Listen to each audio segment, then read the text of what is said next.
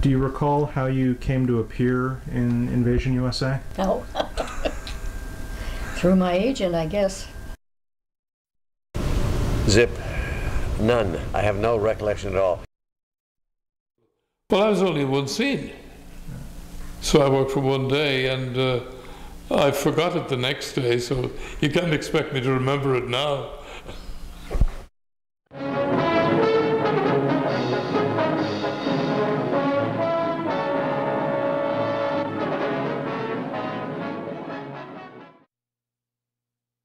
May I have your name, sir? My name is Oman. Oman. Oh, yeah, like the band leader. O-H-M-A-N, isn't it? Twill do. Uh-huh. An excerpt from the New York Times Review, dated April the 30th, 1953. Invasion USA, the Columbia release opened yesterday at the Globe, is an atomic war picture showing the invasion and subjugation of the United States by an unnamed but obviously Soviet army. It is almost wholly composed of stock combat newsreel footage taken during World War II. But its clever editing makes it a war of the future, complete with atoms seared American cities, drowned American children when Boulder Dam is atomized, and gut-shot senators on Capitol Hill. They should have been also. And as a pièce de résistance, a, a stately and desirable American girl commits suicide to avoid being revoltingly pawed by a fat, brutish, whiskey swilling whose accent places his origin just north of Minsk. It is a message picture. All the actors in it, especially the leads, Gerald Mohr, Peggie Castle, Dan Dandihilohi, oh, that's the way they spelt it. They left out the O and they put an I in instead. Uh, uh, Dandihil, uh, it should, of course, have been Dan O'Herlihy. And Robert Bice are dismal in their roles. oh,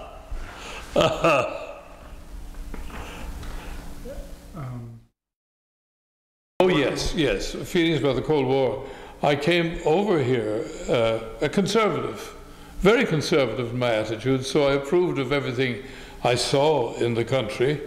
And then uh, uh, uh an Irish American called McCarthy hove into sight. And I watched him with interest since he was an American, an American Irishman. And then I noticed he said rather peculiar things. And then I thought he went mad. And by the time he was finished, I was a socialist. Uh, uh, I became, as I, I, said, rather socialist in my thinking. And I did feel that the conservative US, as we got further and further away from McCarthy, the conservative US seemed to be turning McCarthy ish and uh, declaring that the Soviet Union was this tremendous villain now, I never approved of the Soviets. Soviets. I never approved of their communism because I didn't feel from what I knew of communism that it was communism. It was just a, a dictatorship, and the boys were trying to make the most of it. And, uh, uh, but I thought, because I did go there to work for six months later, and I thought being there, and even before I went there, that they were not terribly bright and they couldn't run their own country. How could they threaten the United States? I thought that was silly. And mind you, I, I, I disapproved terribly of the United States uh, uh, attacking and attacking and attacking. Well, that was for political reasons. I think it was the right wing of that period.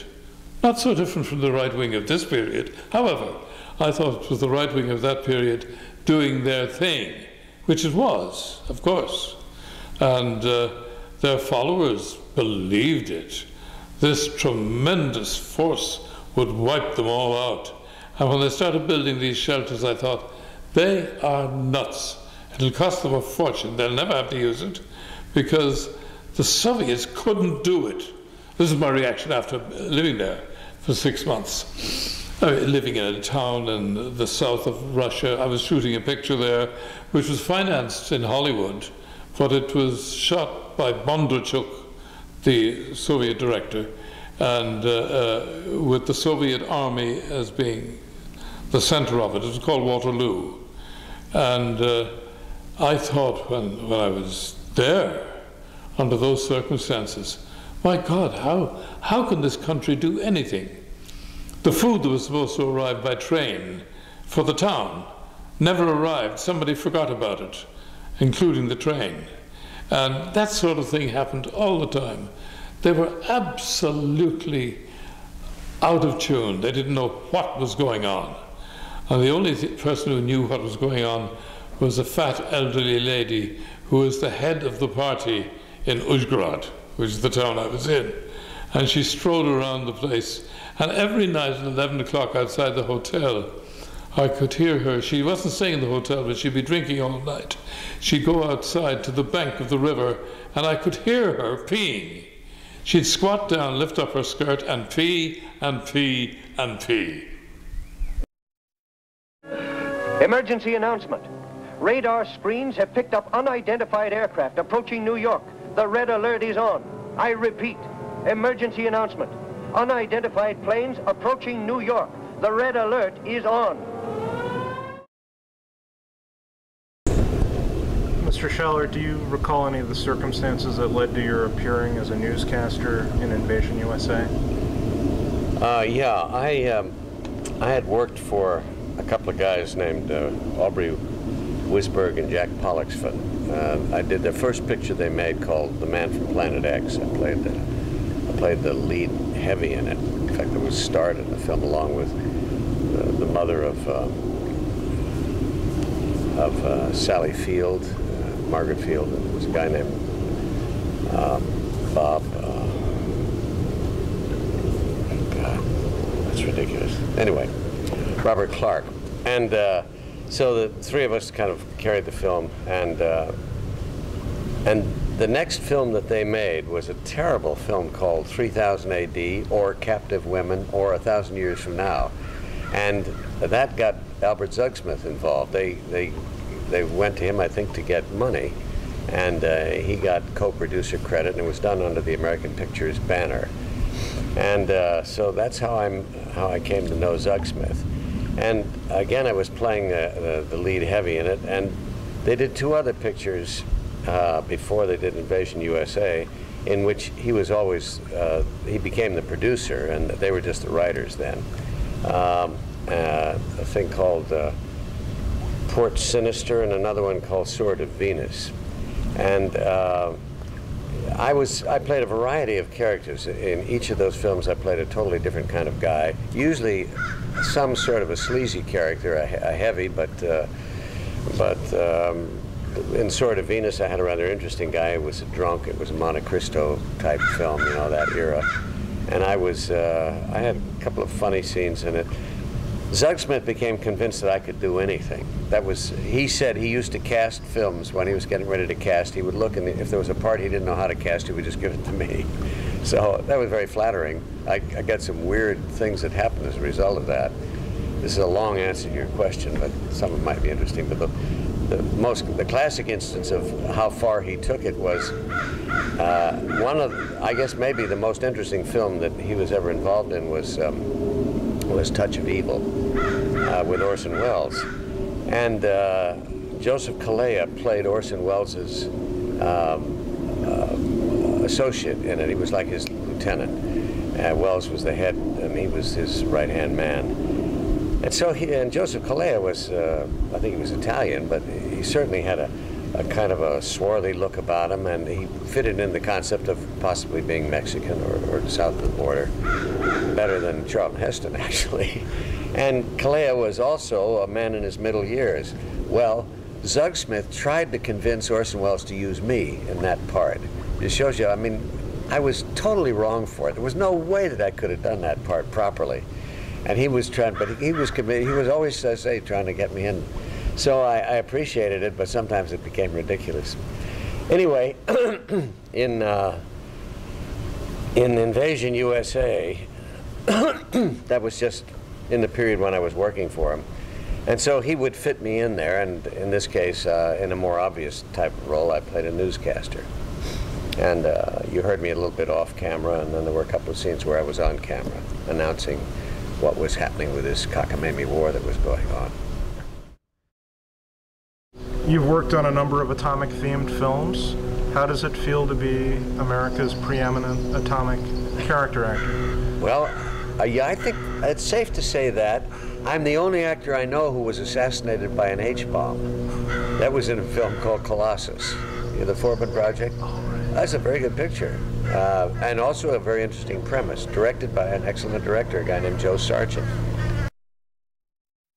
Uh, So, so I, and I was trying, we were trying to double cross the computer, and the computer found out about it. And I was sitting smoking a cigar and looking at a television screen, and I had just lit the cigar, and over the PA system came the voice of the computer saying, We have found you out, basically, and an H bomb is about to be detonated in the next 10 seconds. Well, in the background, you can see people running for the hills, you know.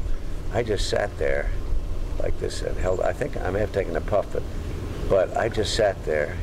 What's the point in running in the face of an H bomb? It's going to flatten everything for, you know, 10 miles around. So, but that was gross overkill, I think, to use an H bomb to wipe me out. So, yeah, I've had my atomic, share of atomic stuff.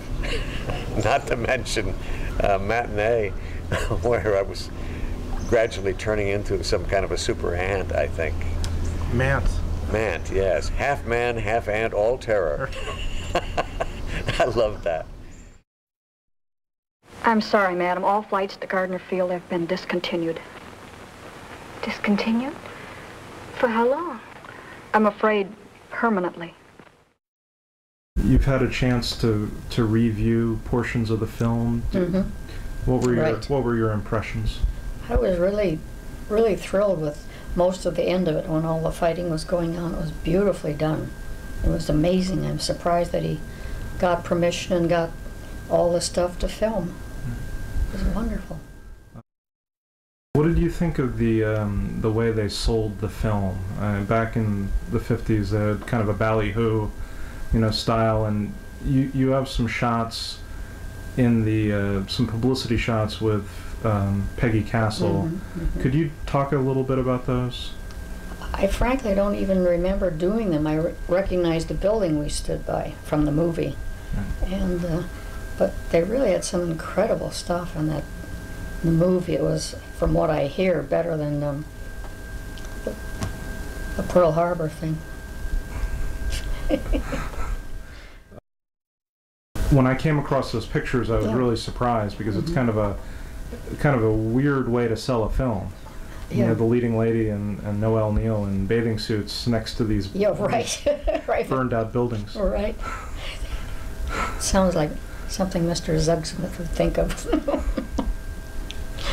but uh, of course, in those days, we did so much, um, you know, legwork stuff because he, like I was at Paramount for years, and uh, they would do send all these things overseas to the boys in the service and whatever, and uh, so you did quite a bit of it then.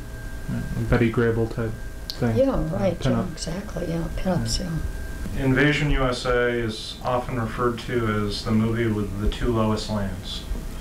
Um, you, of course, are the original Lois. Um, were you aware at the time that the other Lois Lane was in the film, or No, because I hadn't filmed the TV shows yet.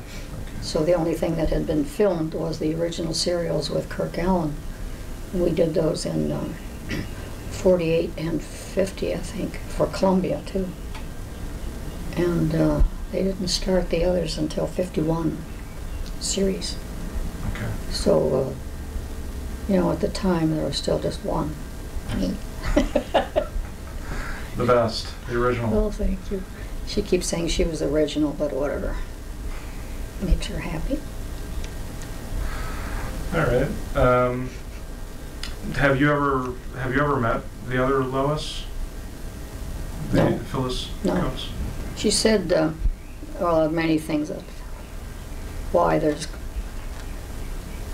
quite a bit of dislike. Um, she wrote a lot of did interviews years ago, and really was pretty rotten to everybody, and said that the, the first group, first show, Jack Larson and uh, George, said there was a lot of drinking and drugs on the set.